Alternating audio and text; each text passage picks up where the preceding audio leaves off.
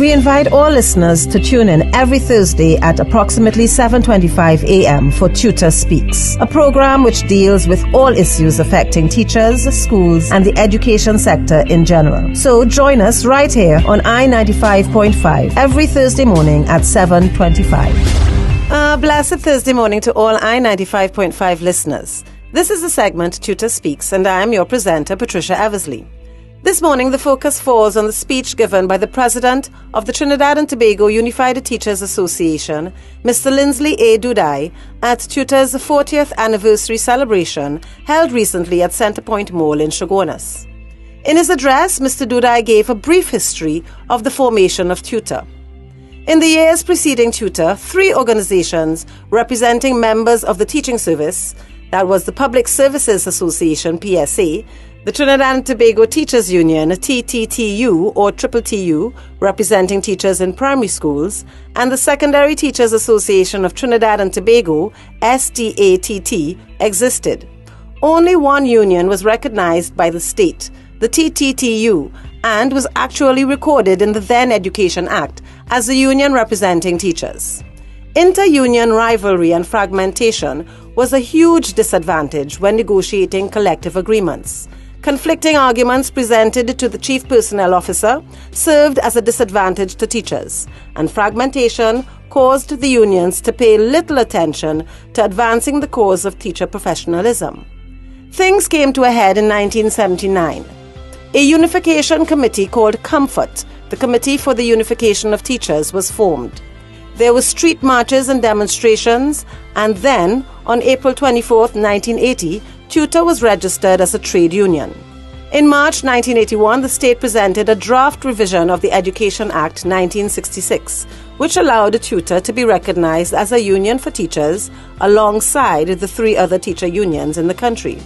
This proposal was strongly rejected, and concerted pressure was exerted, including teachers surrounding the Red House, resulting in the government conceding and the Education Act was amended to give TTUTA full recognition as the majority union for teachers. In December 1981, the Registration, Recognition and Certification Board accorded official recognition of the association. Since then, the past 40 years has seen TTUTA grow to become one of the most powerful and respected unions in the country. Not only does the association have a potent industrial relations arm, but TTUTA is first and foremost a professional organization, and constant attempts to advance the professional development of members are made. TTUTA has been relentless in the pursuit of improved working conditions for teachers and has fought fearlessly for improved terms and conditions of service. TTUTA's representation is not for teachers alone, but for all those in the teaching sector. From ECCE to tertiary, lab assistants to supervisors, all benefit from TTUTA representation. TTUTA's succeeded in delinking the teaching service from the wider public service. Now teachers enjoy salaries based on an external labor market comparator.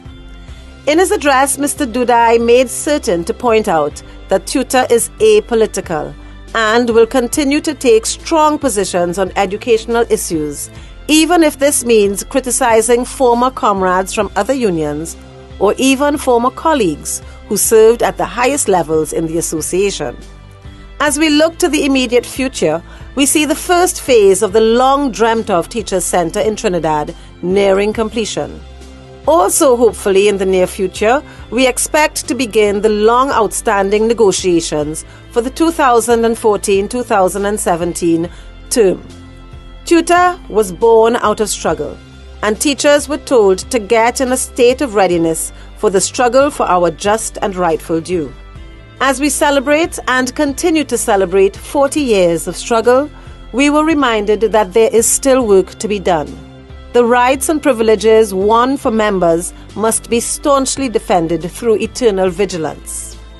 We in the teaching service face the future fearlessly, however, knowing that the Trinidad and Tobago Unified Teachers Association is our staunch defender, our beacon of hope, courage, strength, and resilience. Long live the Trinidad and Tobago Unified Teachers Association. Long live TTUTA. You have been listening to TTUTA Speaks. You can contact us at P-R-E-S-I-D-E-N-T at ttuta.org. That is president at ttuta.org. Or telephone TTUTA's head office at 645-2134, 645-3825 or 663-2738. Or contact Mr. Doodhai at 681-8057.